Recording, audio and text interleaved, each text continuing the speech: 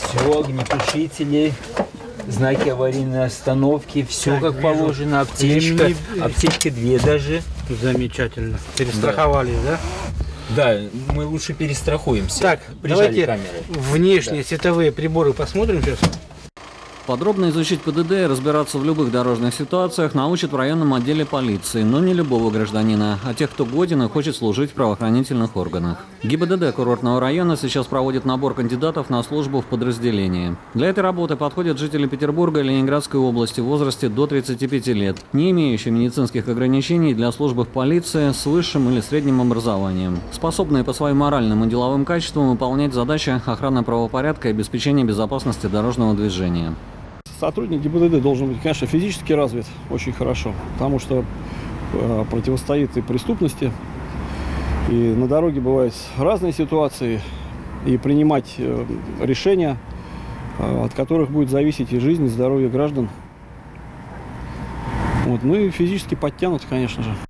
Инспекторы дорожно-патрульной службы – это прежде всего сотрудники полиции, которые в нашем случае работают в штатном подразделении УМВД России по курортному району Санкт-Петербурга. И в ряде ситуаций также могут быть направлены в качестве подкрепления основным силам районной полиции для решения самых разных задач по охране общественного порядка. Однако у инспекторов отдела ГИБДД есть свои служебные обязанности, которые грамотно могут выполнять только сотрудники данного подразделения. Когда человек заступает на службу в дорожную полицию, ему обязательно нужно будет сначала потрудиться на улице. От вас при этом потребуется добросовестно выполнять обязанности при общении с нарушителями ПДД и пострадавшими, подробно изучать и анализировать детали произошедших аварий, оформлять соответствующую документацию.